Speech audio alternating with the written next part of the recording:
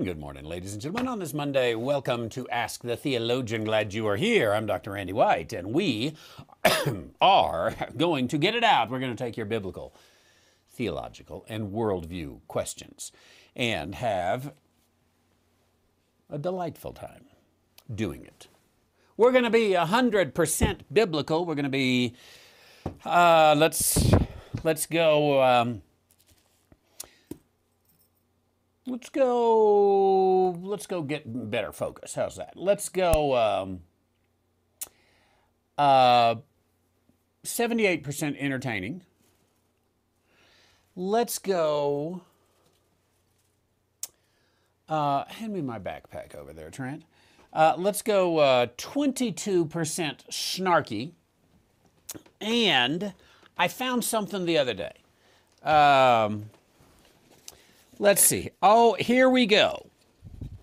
Still has the tag on. Sarcasm served daily.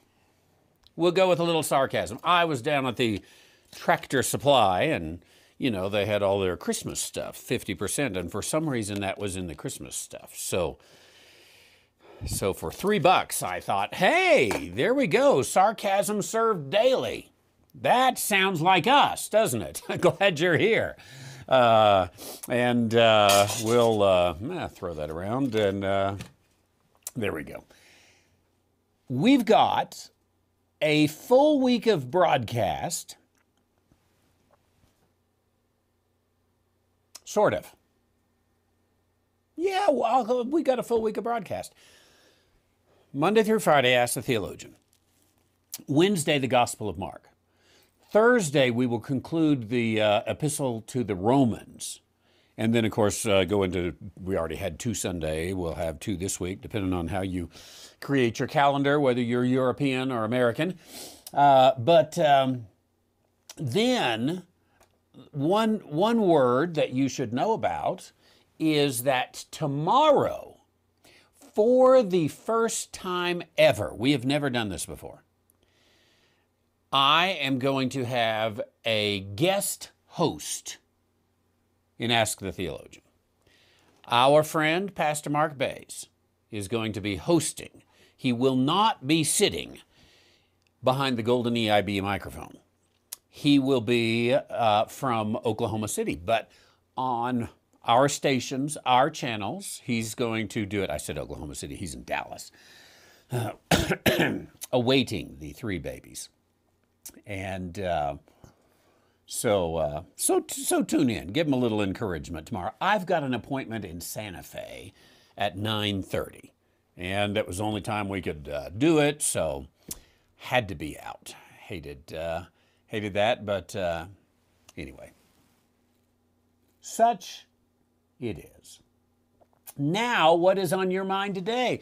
You can put your questions in 24 7. By the way, if you would like a question directly from Mark, uh, I'm I'm going to let him do because he's still on training wheels. I'm going to let him do what I do not do. I do not read the questions in advance. And I am going to let him read the questions in advance because he's just a boy, you know. I mean, you you you you you can't expect a boy to be a man, okay?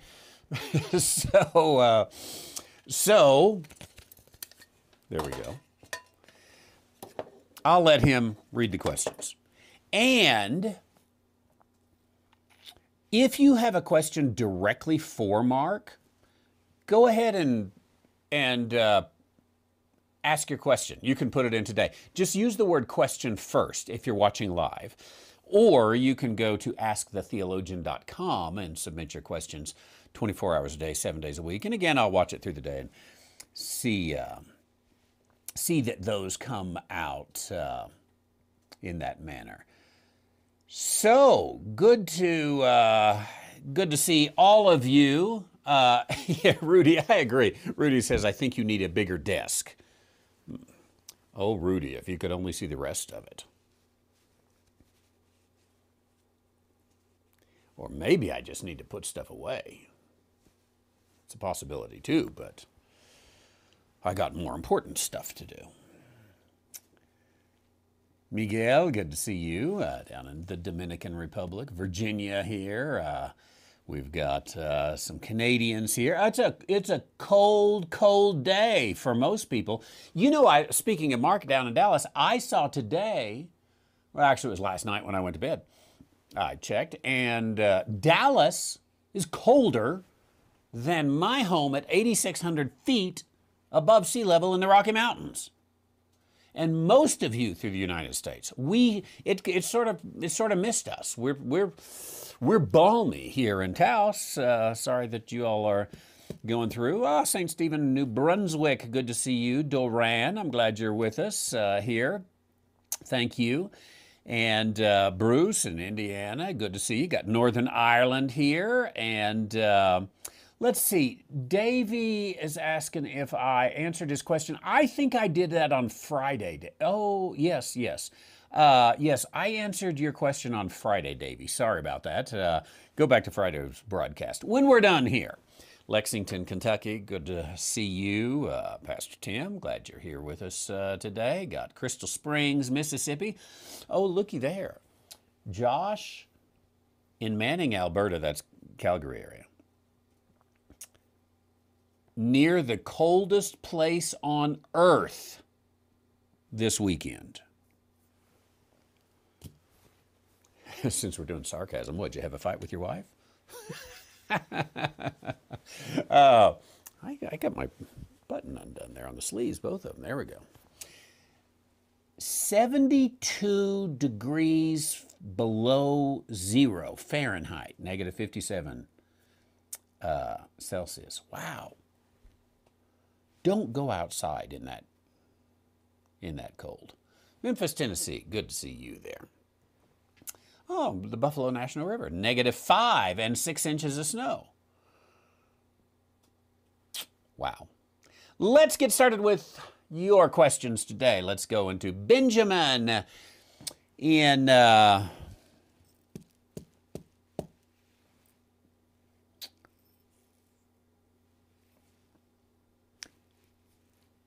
Michigan. I'm trying to think of the name of the town. How would you explain people before Paul not understanding the cross as a means for being the body of Christ, but if they had prophecies of the cross and watched it happen, okay, good good point here. I think definitively we can say that before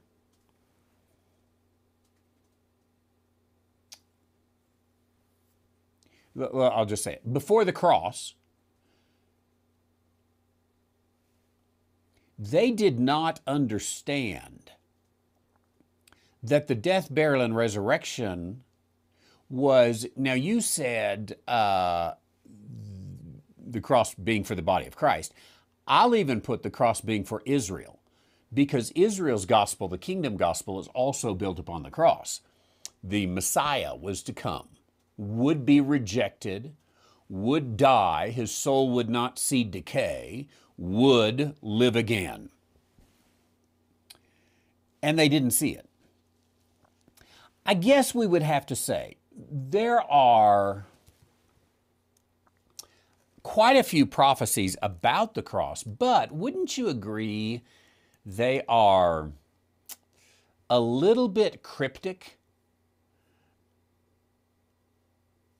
So, for example, yesterday we were talking about David in the in the uh, Sunday sermon for January 14th. We were talking about David going to uh, uh, Achish, the uh, king of Gath. And we tied in together Psalm 34 because Psalm 34 is a reflection of this. In Psalm 34, I didn't read it yesterday, it was in the second half. It says, He, he keepeth all his bones, not one of them is broken. Now, that is a prophecy. We know that was quoted in uh, it, when when Pilate came and they were uh, or Pilate ordered the bones to be broken and bring you know are you sure he's dead? and they uh, broke the the, uh, the the thieves' bones, but Jesus was already dead. Thus fulfilling this prophecy, he keepeth all his bones, not one of them is broken. But I would venture to say you could read Psalm 34, you could memorize Psalm 34, you could know Psalm 34 like the back of your hand. You could be the world's expert on Psalm 34 and never realize this means Messiah's bones are not going to be broken. So only after the fact are we, even today, able to put these prophecies together. I would venture to say, and it would be a, it would be an interesting thing. Let's just uh, let's just write this down here to go back to it. Uh, to to say how many prophecies of Messiah Messiah's death, burial, and resurrection are too cryptic to understand without more information. One of the things I have never done is put together all of these, let's say the prophecies about his death, his bones will not be broken, and all those other prophecies, put them together to see if you take out the knowledge of the death, burial, and resurrection of Jesus Christ, would you ever get the death, burial, and resurrection of Jesus Christ? I think uh, you know, if we uh, if we look in uh, the Gospel of Luke. Um,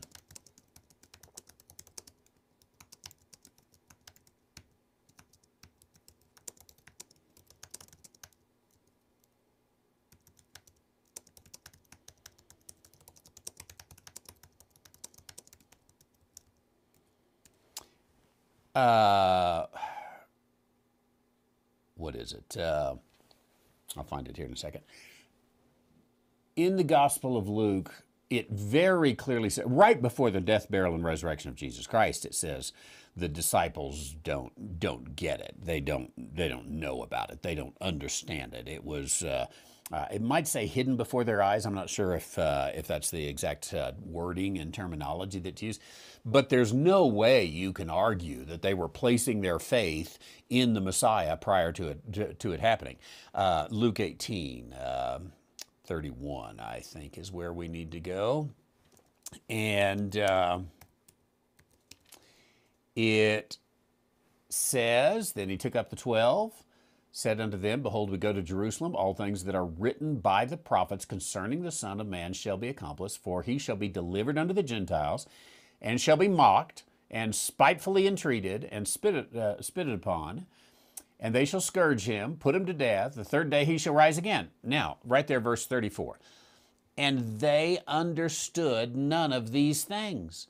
Now, wouldn't wouldn't you agree there that that is about as plain as you can get?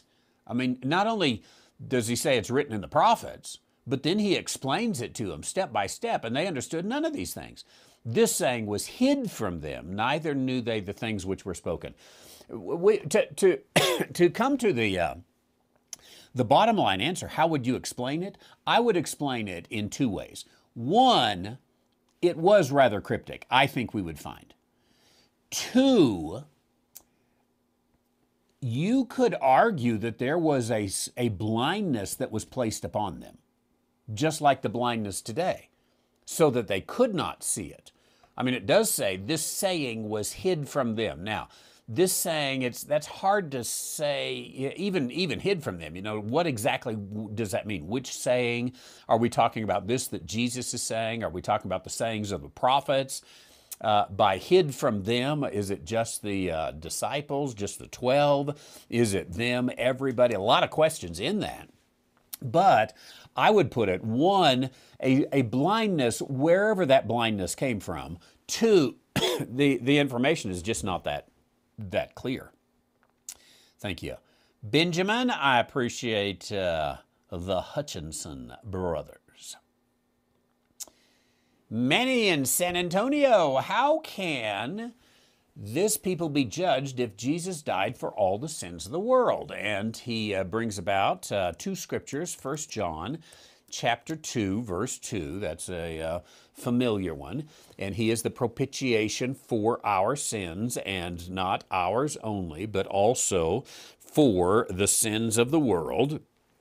And then following uh, that, Manny gives Revelation chapter 20, verse 12. I saw the dead, small and great, stand before God. The books were opened. Another book was opened, which is the book of life. The dead were judged out of those things which are written in the books according to the works. Now, how, how, can, how can you judge? How can any of those in Revelation chapter 20 be judged when he is the propitiation of our sins, and not, not only ours, but also all the world? I think there are two things that uh, you have to you have to put into account. Uh, maybe two or three things you have to put into account.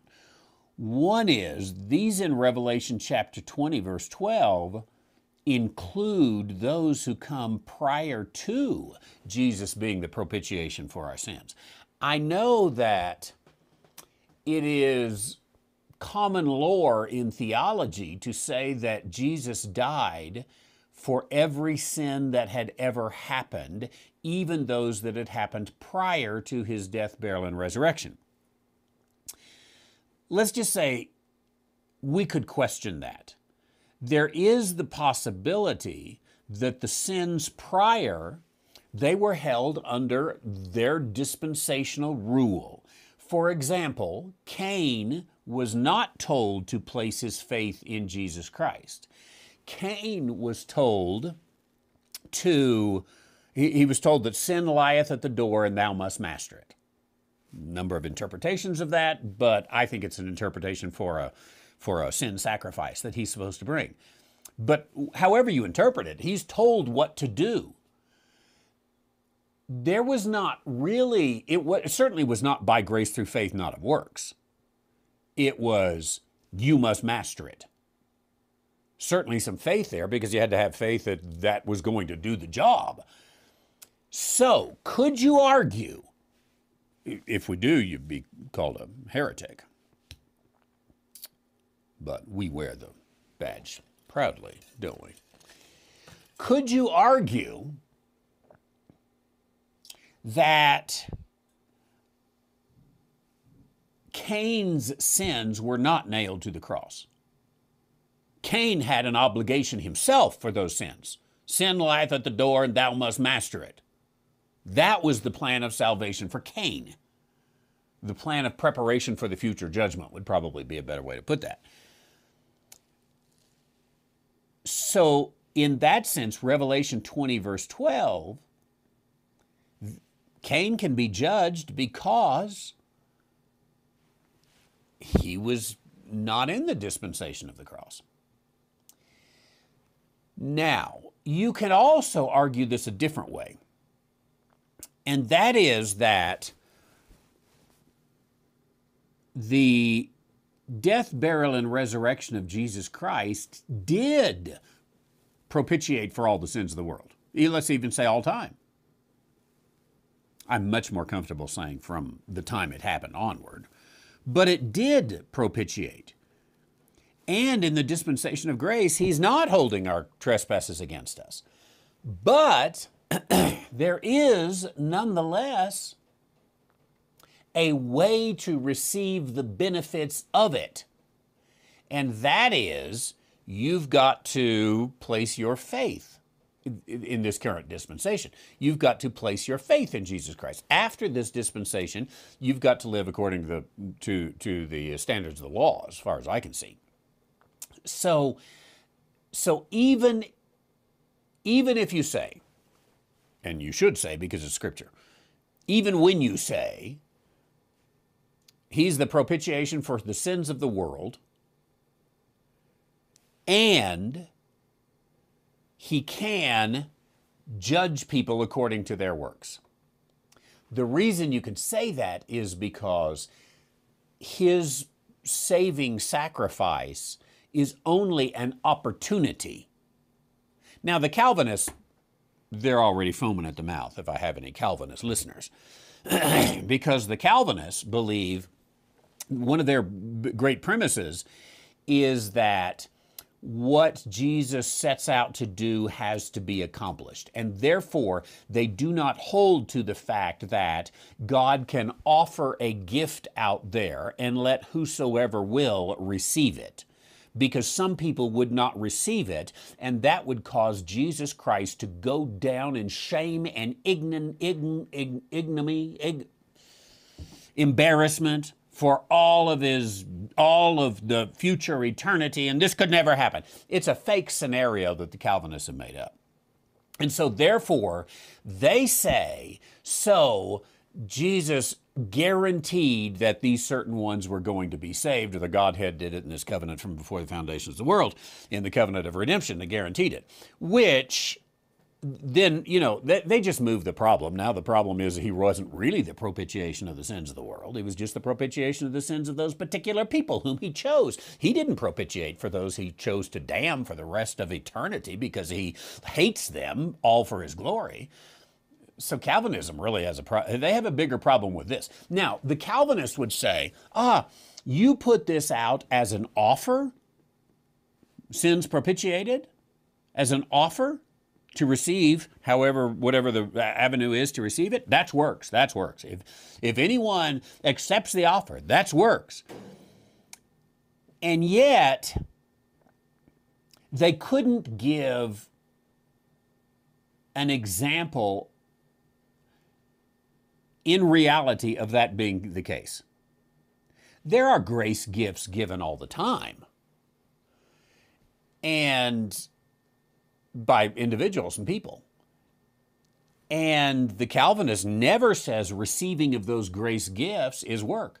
So, uh, for example, let's let's say, um, well, we had a couple in our church just had a baby, and uh, we'll take them a meal in a couple nights. And uh, we, uh, we we they didn't ask us to take a meal. We just said, hey, we want to bring some food by for you. And uh, he said, sure, okay, bring it by. And uh, then we take the take it by and we say, you know, we're just happy to do this. Uh, congratulations. Hope this uh, helps out a little bit and all the busyness that you've got. Enjoy your meal. And uh, they they uh, take and enjoy that meal, and we say, see, works, works, works, works, works on their part. No, that's just stupid. They received a gift. Nowhere in life does this Calvinist theology work that if you receive a gift, that's works. It's just asinine thinking. But the reason they build that doctrine is because they have to, because they can't have whosoever will. Calvinist doctrine is absolutely against whosoever will.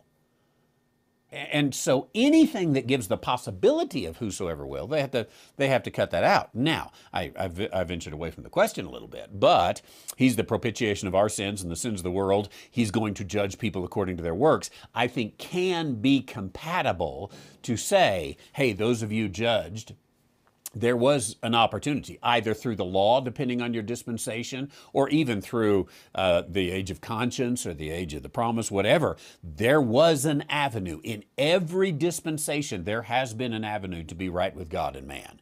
You chose not to take that avenue. And it's always been a revealed avenue as well. Uh, thanks. Manny down in San Antonio. I don't know. Did the cold weather get to San Antonio? It might have. I think uh, got to Dallas anyway, so maybe so. I've got to get back to Stephen and Shrewsbury about the uh, prophetic custom on the Robert Young and his preface. Sorry, I haven't read that yet. Uh, just a just a little note going there. Um,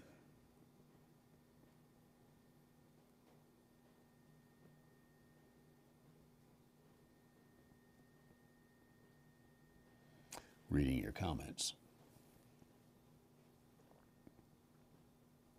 Paul says in, in Acts 26, oh, excuse me. Hi, Jim in China. Good to see you. I was thinking about you the other day. I hope you're doing well.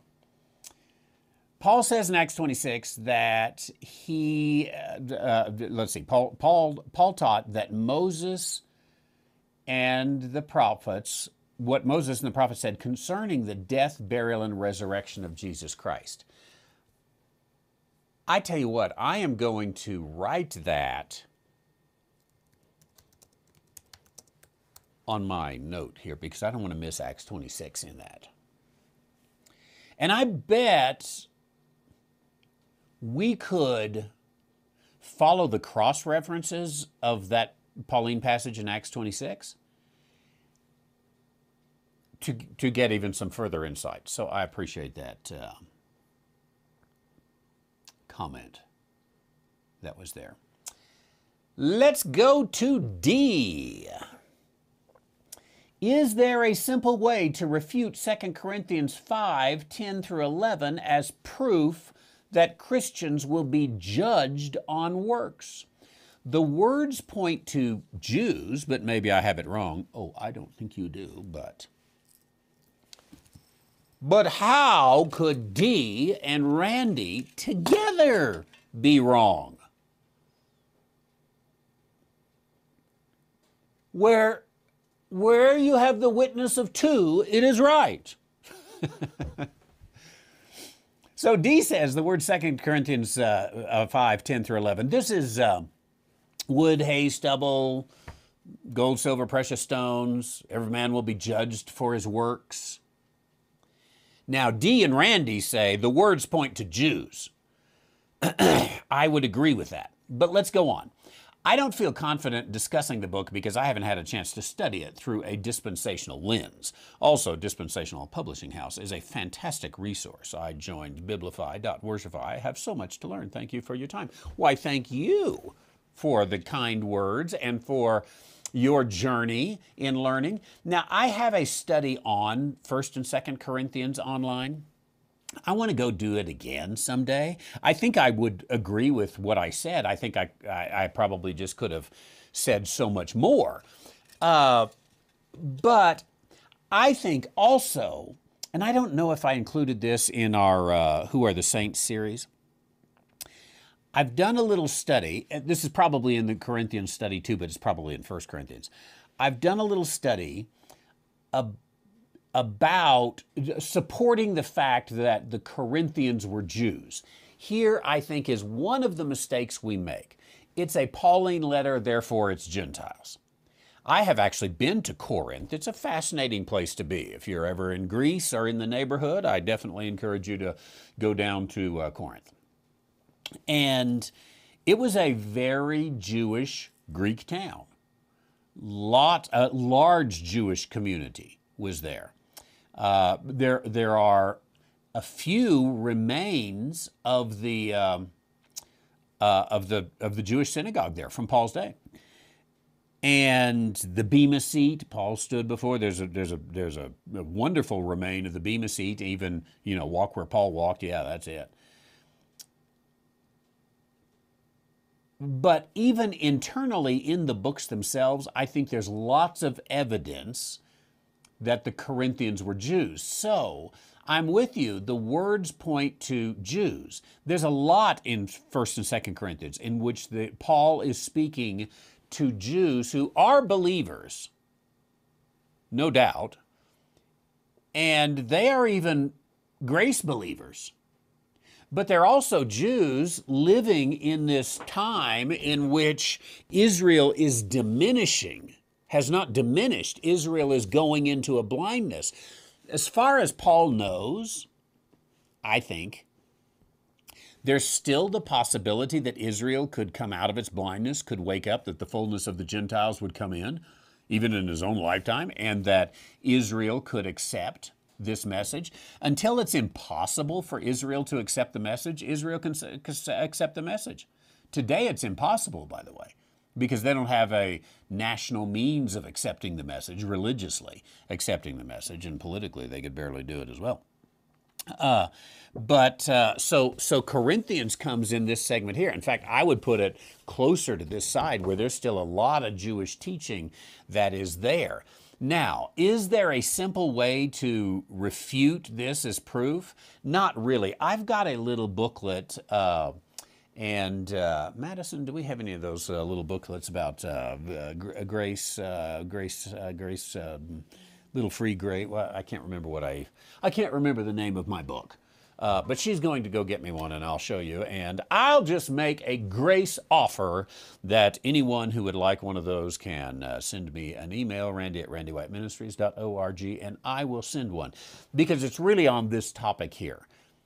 Do Christ, are Christians judged for works? Do we stand before the judgment seat of Christ? And I give a little simple argument that it's not us. So, Dee, I would be happy to send you one of those, and I'll show you uh, show and tell here in just a moment. But um, randy at randywhiteministries.org.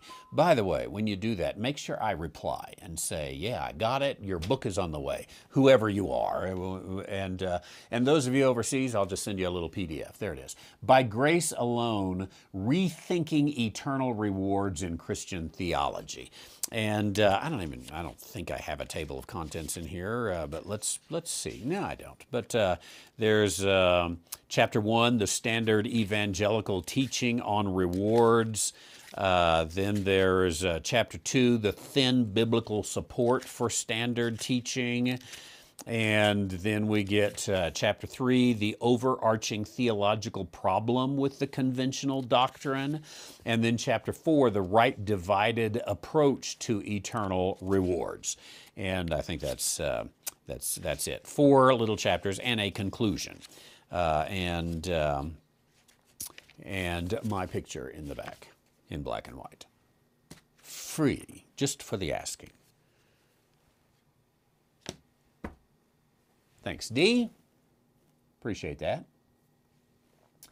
Matthew, the Christian curmudgeon. Good to see you. It's, uh, it's been a while since we had a Matthew question here, and I appreciate uh, appreciate that.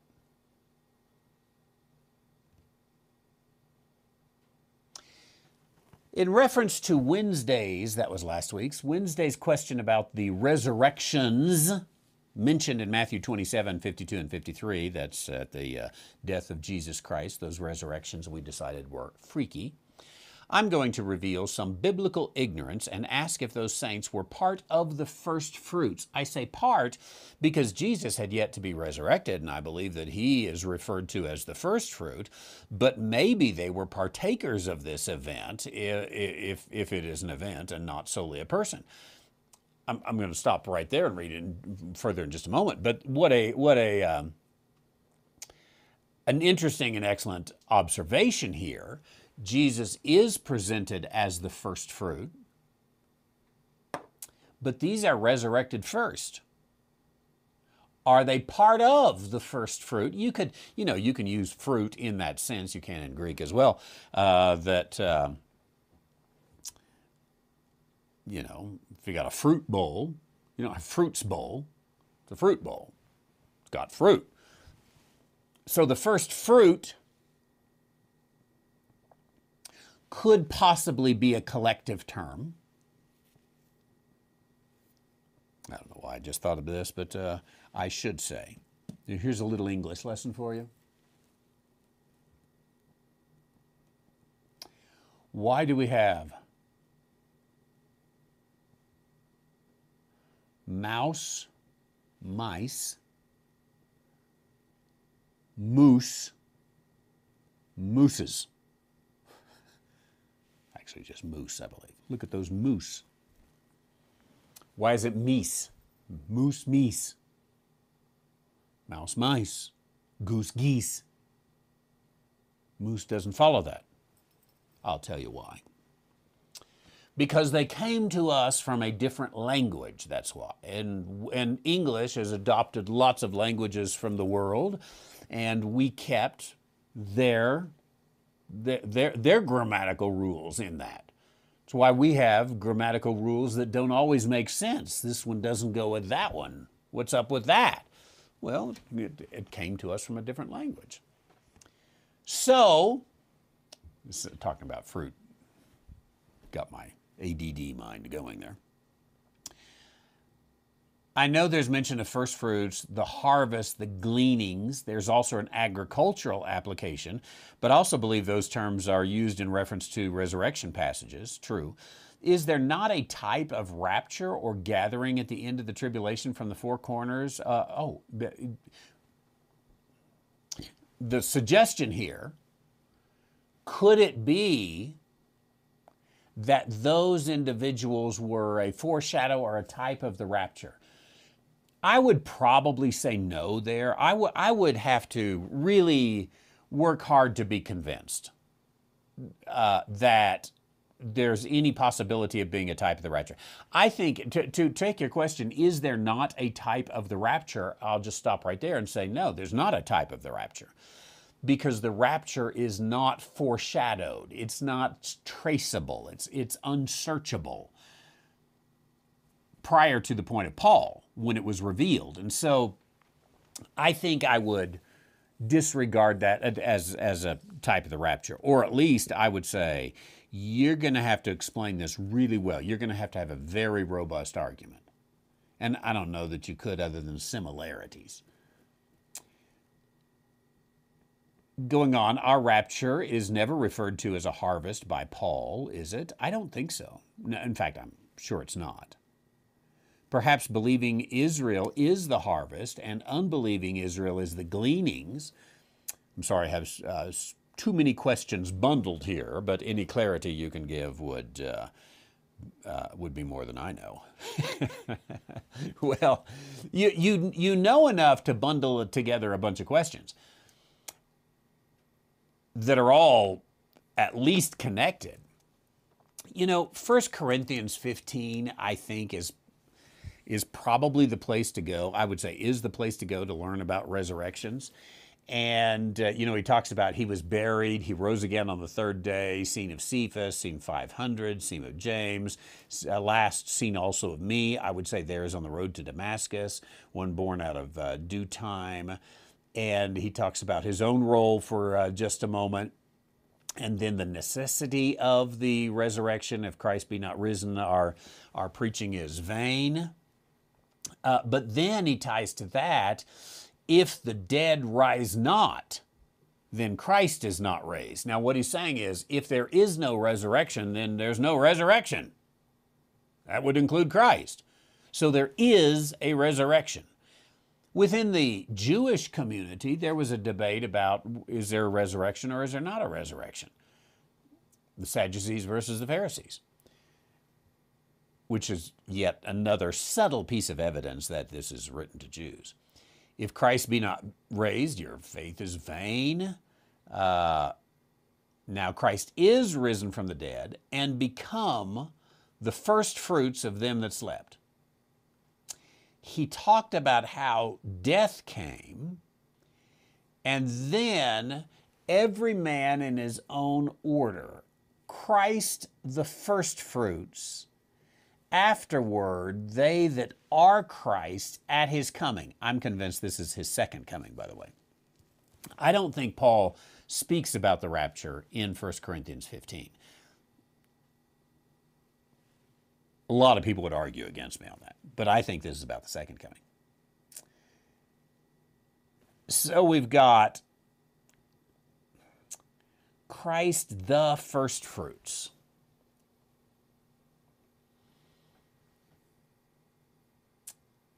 Let, let me uh, let me pull up Greek here let's see, that was 1 Corinthians 15 23.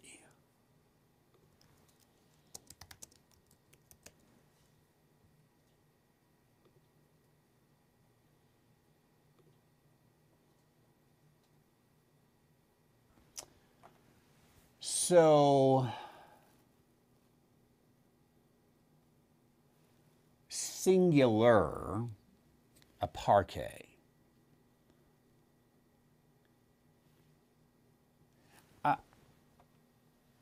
King James says Christ the first fruits. Greek says Christ the first fruit. I, I don't think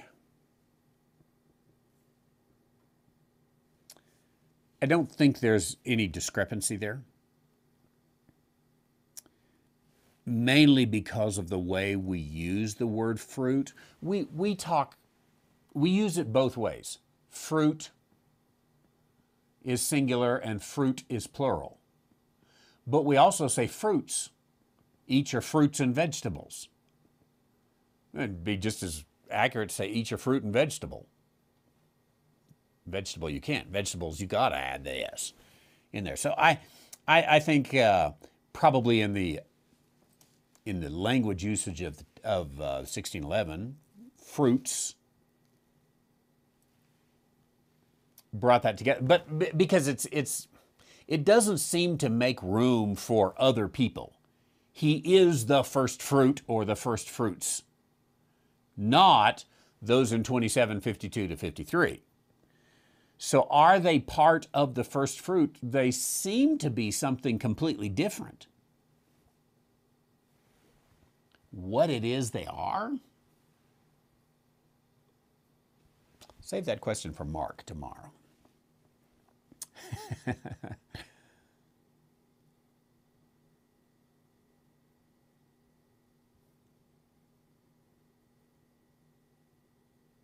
Helen in Virginia. I'm having a difficult time asking this question. I think I'm going to interpret that as um, how do I word it? I know, for by grace we are saved through faith. It's the gift of God, not of works, lest anyone should boast. Ephesians 2 8 and 9. So I do understand that salvation is a gift and it's not anything to do with works.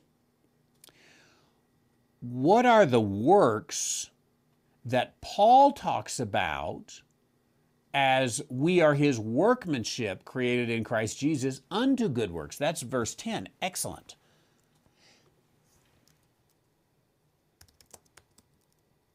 So, let's go to Ephesians 2 8, of course, is the passage that uh, we know and have already uh, quoted here. I think, I think what it is, Helen, is you must be persnickety about the pronouns. Notice, by grace ye are saved through faith.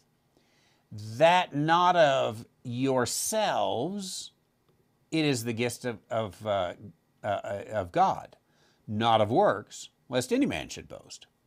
For we are his workmanship, created in Christ Jesus unto good works, which uh, God hath ordained, uh, hath before ordained, that we should walk in them. Now, we got to separate the we, the ye and the we. There is the possibility that you can start out talking about ye and then and then include come in and include yourself in there and start going for we. So that is a possibility. I don't think that's what we have here, but that's that's a possibility we got to look at. But notice uh, one more thing before I have you notice. Remember that we let Scripture interpret Scripture. So we want to know not what ye and we can mean, but what did the author intend it to mean? What did he reveal it to mean? So we let Scripture interpret Scripture. Is there a place that defines ye and we in this context?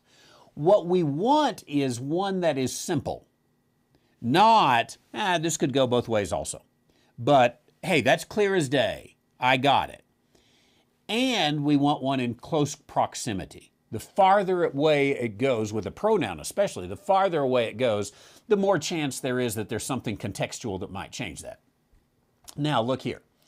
Wherefore, remember that ye being in times past Gentiles in the flesh, who are called the uncircumcision by that which is called the circumcision in flesh made by hands.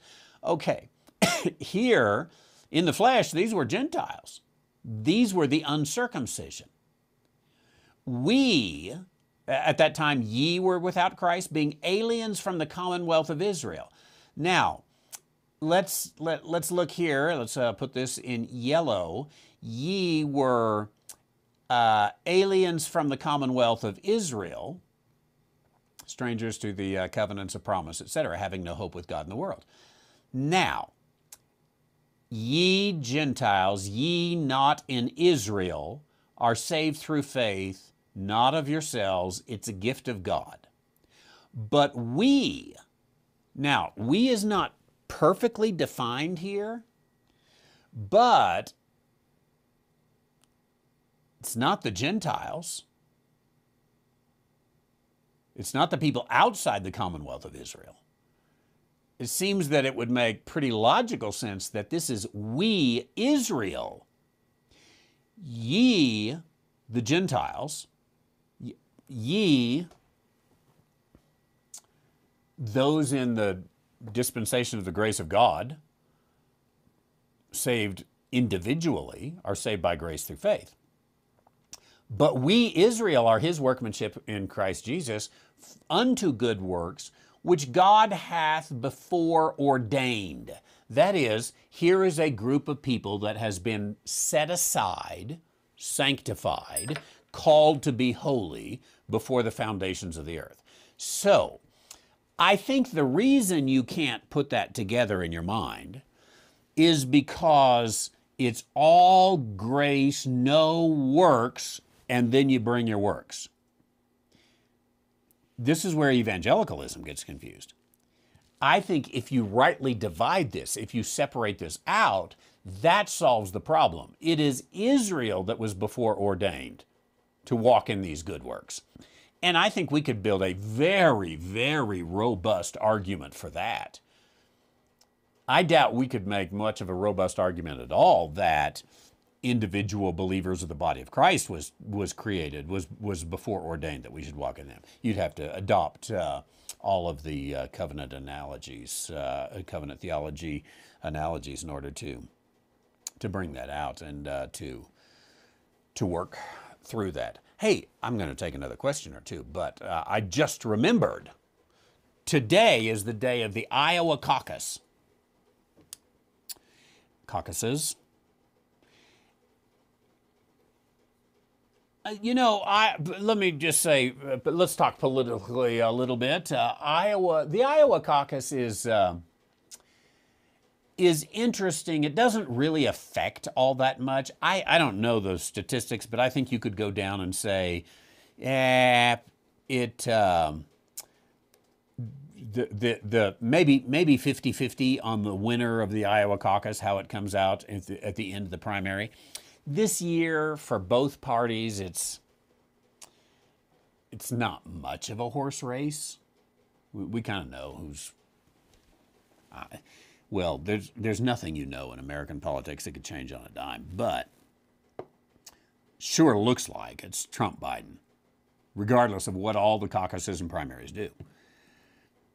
But Iowa's interesting because it gets a little feel for mid-America. You know, what are people thinking? It's a it's a give and take kind of thing. It's not where you go into the booth, you close the curtain, you push the button, you walk out. It's uh, it's a conversational kind of thing. It's very uh, retail politics, more probably more so than any place in the world. Uh, so uh, let me say that different. Any place in the United States, for far, as far as a presidential election, if you're in Iowa, that's that's that, that's where you want to go if you want to meet presidential candidates because they will come to your house, they'll cook dinner for you, they will do the dishes afterwards, in order to get you at the caucus to say he's a he's a swell swell guy. I like that guy. I'm voting for him. Now, predictions. I think there is a degree in which somebody who gives predictions in American politics is just not very experienced. the experienced people know oh, be careful there about predictions. But let me just say, I would not be surprised if, well, let's start what I would be surprised with. I would be surprised if Trump doesn't do very, very well. I, I think he'll be the easy front runner. So much so that if it were another person, all the prognosticators on in the media would be saying he's got it wrapped up, it's in the bag. These other guys just as well quit. There's there's no race there. But because it's Trump, they're going to talk a lot more about Nikki Haley and Ron DeSantis uh, and uh, uh, Vivek uh, Ramswamy, if I said that right. Um, they're going to talk a lot more, especially especially Nikki. Oh, they love Nikki because she's one of them. So if, if if she comes in second, they will pretend like mm, this this this one here this is a, this is a game changer. I'd say it's not a game changer. You know, unless unless she comes in like a point behind. But even at that, Iowa caucuses there's there's so much dependent upon there that it would give her some momentum, is, is all. There are 50 states. Now, uh, here's what I, so I would be surprised if Trump doesn't do very well. I would not be surprised if Vivek does not do far, far better than any poll shows him. I wouldn't be utterly surprised if he came in second, which would be a huge message. The media would ignore it. If, if Vivek came in second, they would say, well, typically the Iowa caucuses are no indication of what is to come in the future, blah, blah, blah, blah, blah, blah. And they'll talk about uh, uh, who was the guy from up there in Wisconsin, uh, ran for president and you know, what's that? The Governor Walker? Not Walker. Scott, Scott something. You know who I'm talking about. The guy we all forgot who won the Iowa caucuses several cycles ago. They'll say, you know, it's just like that. It's an Iowa caucus. It doesn't mean anything. Because they don't want Vivek and they don't want Trump. So they'll slobber over themselves. Their leg will shake if Nikki comes in and does well. But if if anyone else comes in and does well, Iowa doesn't doesn't really matter all that much. For my DeSantis friends, I I think he's done with. I I didn't think he should have run in the first place. I thought it was a political mistake. I don't I don't think he gets much out of Iowa. I think by South Carolina he probably drops out. There's my political prognosticating for tonight. It was Scott Walker. Scott Scott Walker. Was he the governor? I thought he was a like a congressman or something. He was a governor for Oh. the 45th governor of Wisconsin from 2011 to 2019.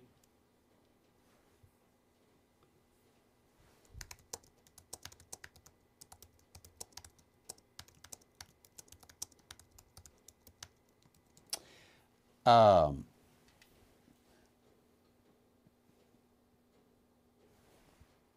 let's go on to another another question. I was asking a question and it's really slow answering. Let's go to Rodney in snowy Memphis. Must not be able to work today, Rodney. Uh, glad uh, glad you're here with us. From Memphis, Tennessee, I believe in right division and can say from experience that the silence of God is probably true. Based on this, why would God, in this dispensation of grace, throw the body of Christ to the wolf when we don't have the power to defeat him? Our only promises seem to be after death, and we really don't even know what those are. That is an honest question. and uh, I think uh, I think uh, it's a hard hitting question, but I think insightful. Now, there are some that would deny the premise of your question. Even some right dividers would deny the uh, premise of the question. You would you would get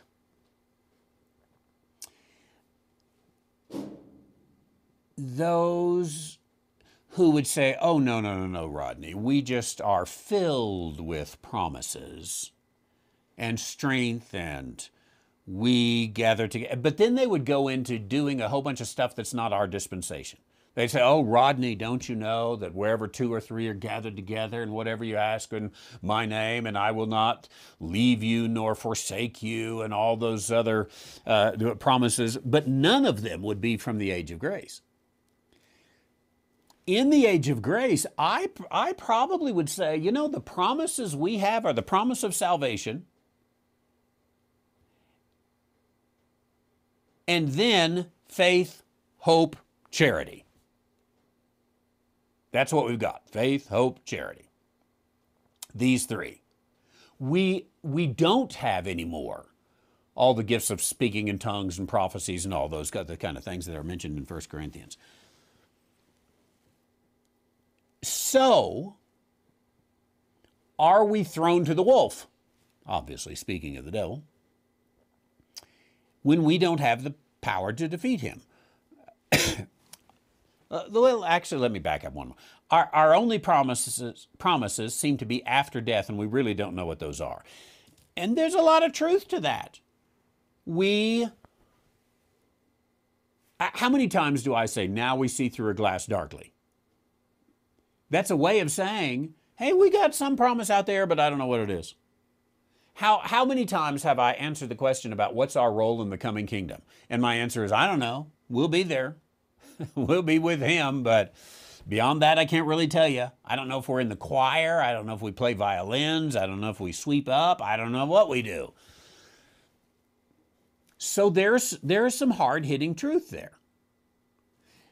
Now, the one area I would disagree with your premise, and then let me try to to to uh, add a couple of things there. The one area in which I would agree with your premise is that we're thrown to the wolf and don't have power to defeat him. I would first of all use 2 Timothy 3:16, all scriptures inspired by God, profitable for correction, teaching, training in righteousness, pardon the paraphrase there, that the man of God may be perfect, equipped for every good work. So in the word of God, in the knowledge of the Word of God, in the wisdom that comes from the Word of God, we've got what it takes for every good work. Now, I believe that in the silence of God, we also have the silence of Satan. I have not seen this written about much or talked about much. Of course, you know, it's a very small niche that even talks about the silence of God. But even in Sir Robert Anderson's book on the silence of God, I don't recall anything there about the silence of Satan. We almost tend to say, well, there's a silence of God but Satan is running loose. And, and we'll quote passages from Peter, for example. You know, he's like a roaring lion seeking whom he may devour, which would leave us hopeless. But I really think that we could build an argument to say there is a silence of Satan as well. That is to say, that there was, I don't, I don't know that this is the best analogy, but I'll go ahead and do it there was a ceasefire that was declared. Both sides are under the ceasefire. And therefore, you can let things grow that have already been planted, but you cannot plant more. Now, there was plenty planted, both in the Word of God and in the work of the devil, that bears fruit today and appears to be like the work of the devil. So, for example, I don't know. You take uh, you take uh, abortion. Boy, Satan is working hard, isn't he, to to to uh, bring about a culture of death. Well, I would say, I, let, let me. Uh, we've been blunt. Let's just be blunt. What makes you think Satan's working? Why does Satan need to to work when he's got Democrats? They will take up evil agendas. Be happy to. He doesn't need to dirty his hands in that kind of stuff. So mankind himself, itself, has the depravity. I don't uh, hold to total depravity, but he, he's got the depravity to carry out any and all wicked deeds here on earth. But mankind also has the ability, just like Cain, you know, sin lieth at the door and thou must master it. Mankind has the ability to do that. Down through history, sometimes mankind collectively has chosen, uh, uh, you know, better paths than at other times. Our power to defeat it is in understanding the Word of God, proclaiming the Word of God, teaching the Word of God, living the Word of God, doing good stuff instead of bad stuff. So then there is that power to defeat because it's not the spiritual, direct spiritual work of the devil, it's rather seeds that he planted. Nice thing about that is you can come hack them seeds down as soon as they begin to grow, those seedlings, and get rid of them. Now, we haven't always done a great job doing that. Certainly haven't the last couple of generations. Excellent uh, question.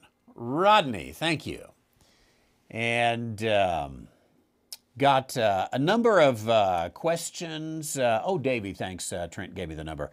Uh, question 5,380 on Ask the Theologian, your, your question from last week. Uh, askthetheologian.com, then just do a little search or slide down to 5,300 and 80.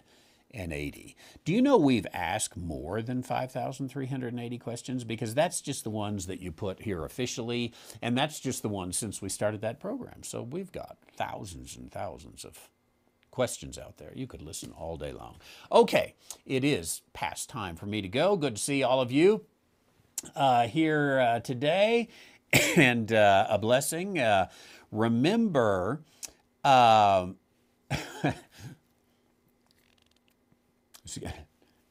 Randy says, I hope I can dance like Gene Kelly. I have no rhythm for dancing here. He's speaking of promises in the future. There's, there's the possibility, Randy, that you'll be a, maybe we'll all be Gene Kelly kind of dancers in that.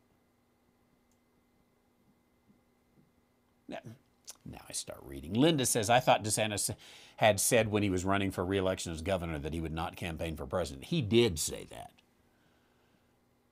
I think while he was planning to run for president. I think that was one of his biggest errors. Now, sometimes circumstances change, and I, I, I understand politicians might come say, okay, I'm, I said this, but I changed my mind. But at least you got to own it. What changed? What was the difference? I don't, as far as I know, he's never, never owned that. He's, he has as y'all mentioned, the the uh, the politician.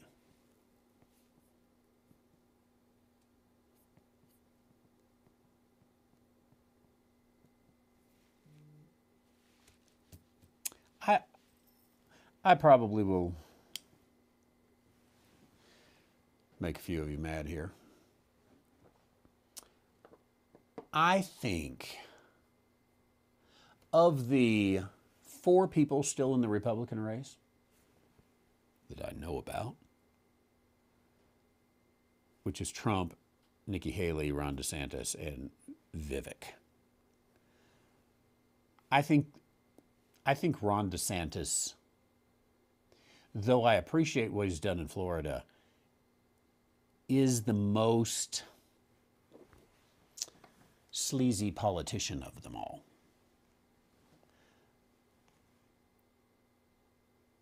If he's not that, he's done a bad job presenting himself. And that's part of it right there. Is I'm not going to run for president. Thank you for electing me. Now I'm going to run for president. That's sleazy politician stuff. And I, I if, if you're going to have a sleazy politician, which maybe they all are, I, I want one who's going to be sleazy towards conservative issues and take what you can get. Uh, so I would certainly rather have that than I- I'll, I'll take Ron DeSantis any day of the week over Joe Biden. But not really my favorite politician. Okay, that's enough. Enough politics for today and enough religion for today. Remember, tomorrow I will be out, but we will be broadcasting. Our friend Pastor Mark Bays will be uh, uh, in hosting from Dallas. Now, y'all be kind and gentle to him. It's his first time. He doesn't have all the equipment that we have, but he's a smart boy with a few good things to say. I, th- I think it'll be interesting. Um, and I'll probably tune in a little bit because uh, I'll, I'll be sitting in a uh, auto waiting room um, for a car recall. Might just tune in. Maybe I'll submit my own questions. How would that be? I should have brought it. Randy, we got one of them fruitcakes from your town. Still have it. but you know, it makes a nice tin. Is that why people buy fruitcakes? Just for the tin, right? Throw that thing out. Look, we got a nice tin here. from Corsicana. Okay, I gotta quit. I'm 10 minutes late. Thanks everybody for being here uh, with us today. Uh, I'll see you Wednesday. We'll see you tomorrow, 10 a.m. Mountain Time. It's been a blessing to have each one of you. God bless. Take care.